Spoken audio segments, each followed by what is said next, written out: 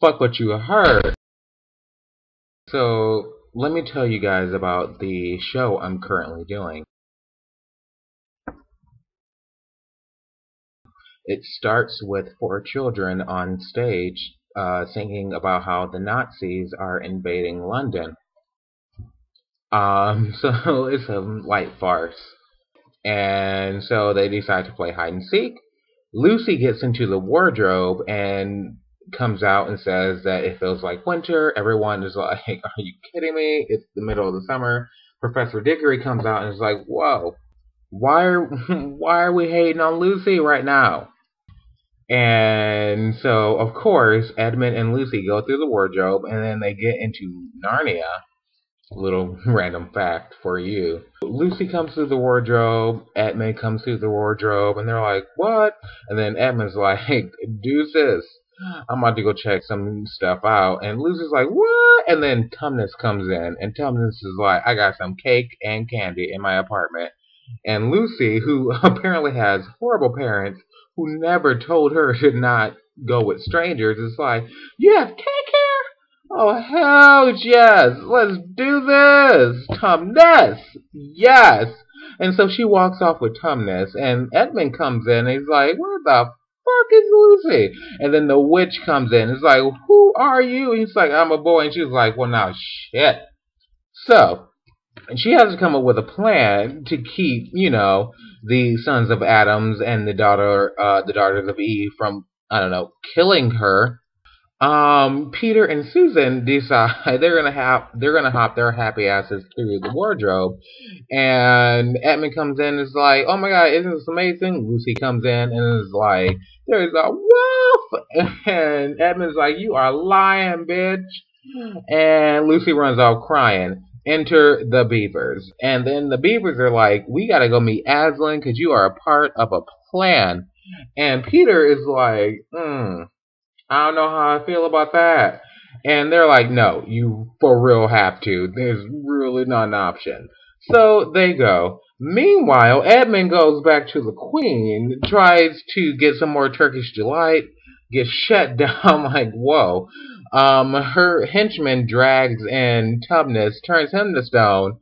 Then, and only then, does Edmund wake up and realize, hey, I'm talking to a witch. And she's like, course I'm a witch.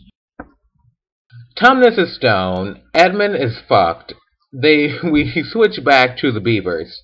Uh, the beavers are like, oh my god, it's starting to be spring right now, so you know Aslan is back. Boom. First half of the play. Second half, the witch enters, and she is not really happy that it is spring, because I don't know, she is the queen of winter. Shocker. Um, Fenris, the head of the secret police, comes in and is talking about how um, one of the sons of Adams kills one of the wolves. And he's like, you know what? We gotta kill him. That's what we'll do. And instead of actually just going straight full face stab, which is what I would have done, obviously, um, she sings a song about it, and by the end of the song, of course, Aslan's army is approaching. Shocker. So, Edmund is saved. Aslan has this heart to heart with Edmund, and Edmund is like, Yeah, I'll try that. Who cares? And then the witch re enters, and Aslan is like, why are you here? And she's like, that bitch is a traitor, pointing at Edmund. That motherfucker is a traitor. And Edmund is like, oh shit, I've already seen this bitch turn people to stone. And Aslan is like, don't even worry about it, I got this. Aslan comes back and he's like, okay, Peter, you need to go get ready for battle. And Lucy is like, what's going on? Hassel is like, mm, I'm gonna hug you instead. Turns out, Aslan decided he's gonna sacrifice his lion life for Edmund, and the witch enters with the stone knife, and this is gonna be awesome. And so she proceeds to sing her song and then stab Aslan in the heart. Like, for real, in the heart. Aslan dies. That Aslan just got face stabbed. And then Fenris comes in and beats the shit out of the two brothers. How bad their life sucks, right? And then as they're walking away, Aslan comes back and he sings a great song about how great it is to be alive again. Um, motherfucker has a cape. A cape. A fucking gold lamé cape. Cape. Anyway, comes back, decides he knows how to fly, flies the two sisters and himself to the queen's courtyard, finds two brothers, uh, resurrects all the people that the witch has turned to stone, um, and then they enter the final battle. And in the final battle, Susan fucking runs off stage because that bitch is not ready to fight shit.